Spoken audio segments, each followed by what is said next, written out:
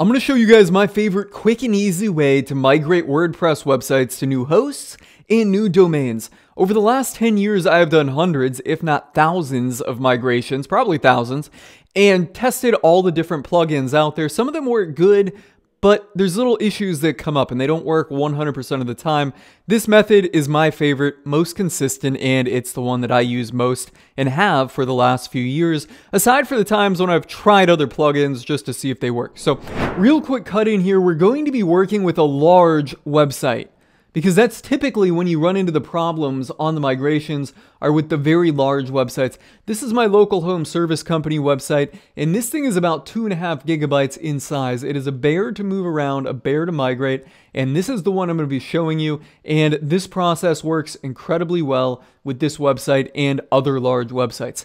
Now let's jump back to it. Uh, let me talk about the process here and let me cover exactly what we're going to do here in the step-by-step -step process. Uh, let me pull up my handy little whiteboard feature here so you know we, where we're going with this before we jump into it. And why is my whiteboard not working? It should work now. Um, how to migrate a WordPress website. I'm going to break these down and go step by step. Let's change this to a better color. I don't really like the purple. That looks a little better. And we'll make the text a 24 large because we really don't have much else to put on here. Right, first thing we're going to do is update our current website core.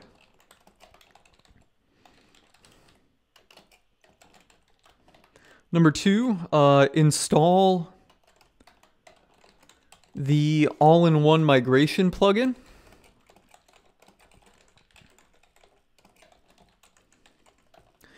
Number three, we'll take a backup using the plugin. And then download it. And then it'll be time to switch the DNS.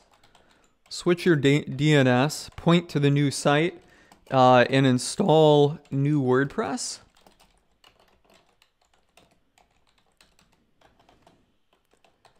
Then number four, uh, install the all-in-one migration. I'm going to abbreviate this L-in one migration. I don't, I don't know if that's the official uh, one on the new site. Number uh, five, actually switch DNS um, and install new WordPress. Yeah, we'll leave that as that. And then number six, number five, uh, restore your backup. And number six is really just check. And I think I'm going to make a second separate video of what I check um, on these. So let's jump into it and do it here. Uh, first thing, you're probably looking at this all-in-one migration plugin going, what is that uh, and how much does it cost? It is free for up to 512 megabyte site. So if you've got a smaller site, it works. Uh, if you have a larger site, you do need to pay $69. That said, the $69 is for a lifetime. I paid this three years ago, and it has been the best $69 I have ever spent. You will see why. So if you're on a smaller WordPress site, 512. Um, if you're on bigger WordPress website, like the site I'm about to migrate here is roughly two gigabytes. So this is a pretty big site here. So we're going to go through and cover how to do that. It's incredibly simple, right? So without any more chit chat, I guess let's just go into the WordPress install at this point. So here we are in the WordPress install. Number one is update the WordPress core. Well, a lot, and here's why. A lot of times uh, there's differences between the plugins that are installed or the variation that gets migrated from the old site to the new site. So I find it most convenient It'll still work, but it, it, there might be some bugs. So most convenient and the best way of avoiding problems is updating your WordPress core. Now, I'm already on the latest WordPress website, as you can see here. But one thing we need to notice is my all-in-one migration plugin is not updated. So if you're just installing the all-in-one migration plugin, well, it's updated, right? When you install it, it's new. But in my case, it's not new. So I'm going to go ahead and update my all-in-one migration plugin. So I'd like to have the core updated because the new site you're going to is going to have the newest WordPress core in it. And then my all-in-one migration plugin updated. So there we go. Okay. Now, if you don't have that all-in-one migration plugin, now would be the time to install it. You just go plugins, add new right there, and then you'll get this all-in-one migration plugin. Now, if you don't pay the $69, you won't have this FTP setting. So with FTP, I can literally pass the file to the new site or to an offsite storage without having to download it. And by purchasing that FTP extension or the unlimited extension here, uh, you remove that 512 megabytes. So you install that like a plugin too, and then it pops up right here, which I've already done. Next up, what we want to do here is export. All right. And at this point, we're going to come in here, click export to, and then file. Right. So it's going to run. And what we're doing here is taking the backup uh, using plugin and downloading. So another way you could have done this is could have came in there and went, let me just open this up in a new tab while it's running. And it's going to take some time because this is a, lar a, large site. I'm probably going to have to kind of fast forward through this. Um, copy. There we go. see if I can write to it there.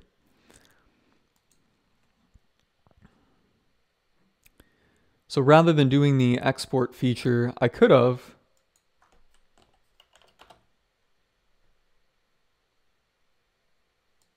Surprised this is not loading at the moment.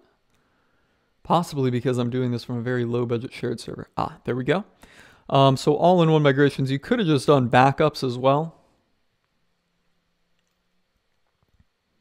Right, and then click create backup and then come right here towards download. So this is loading, or not loading, but running and making the backup. I'm gonna stop right here and kind of fast forward it. It'll take a couple minutes. Boom, we are done. Probably took about 10 minutes for the plugin to run on this large site here, which you see is two gigabytes. Now we need to download it and get this onto our computer. And here we go, mine has started. I'm on pretty fast internet, so it shouldn't take too long, but I'm still gonna speed up the video here. Now the site file is downloaded, we can see the plugin file downloaded here. It's living on my computer now. So we can go on to the next step, which is switching your DNS and installing new WordPress. So update your DNS to point to your new WordPress host and then install WordPress on that host. Here's my new WordPress install, clean WordPress install on a new server. I didn't update my domain names. I'm not changing them, uh, you know, for this video, but the process is still exactly the same. And fundamentally, the domain name will have to be changed within the WordPress migration itself to what it is here on my new Cloudways server, right? So first thing we're going to do is install that all-in-one migration plugin. We're going to go add new, and then we'll search for it.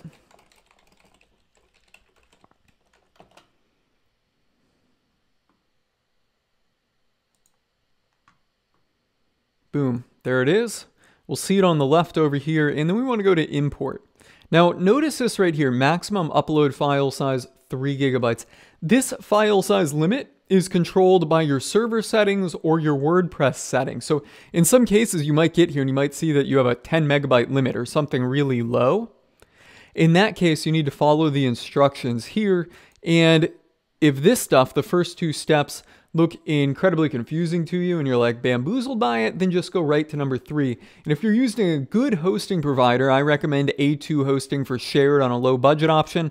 Uh, still a good low budget option beyond that is Cloudways, a little bit more than A2, but it is true VPS. You do have to pay a little bit more money for it, but still for what you're getting in the price, it's still a good value there. Either one of those two hosting providers, if you say, hey, I'm trying to run this plugin and it's saying that I've got a limit of 10 megabytes and here's the link, uh, they'll certainly go in and make these adjustments for you so that you can go ahead and run this plugin.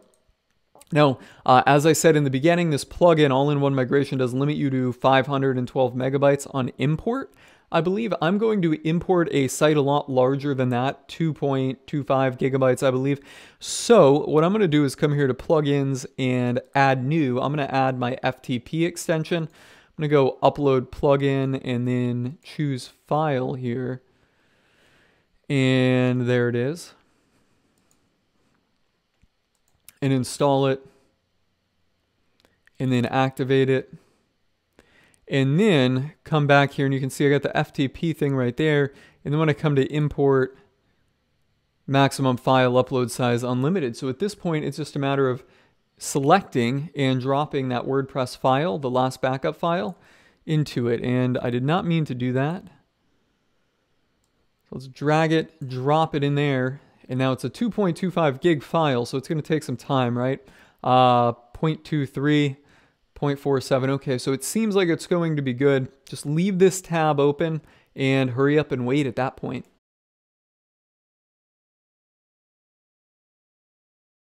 Boom, the import is done. You can see it on my screen. Now here's kind of the final warning notice saying that, hey, when we proceed, this is going to overwrite everything on the website. So the import's complete. Let's click this proceed button. And then it's going to run. We might need to do some fast forwarding here. So it's going to go ahead and restore. I'm going to fast forward past this part, but it's pretty quick. All right, your site has been successfully imported. Um, let's click finish and see what we got. Nothing exciting yet. I'm going to click visit site. And then I'm going to come here. Okay, so it's logged me out because it's got a new database. But there is my live website. That's a copy of, uh, well, if we go out of this window, we go to gulfcoastaluminum.com. right here. That looks exactly the same.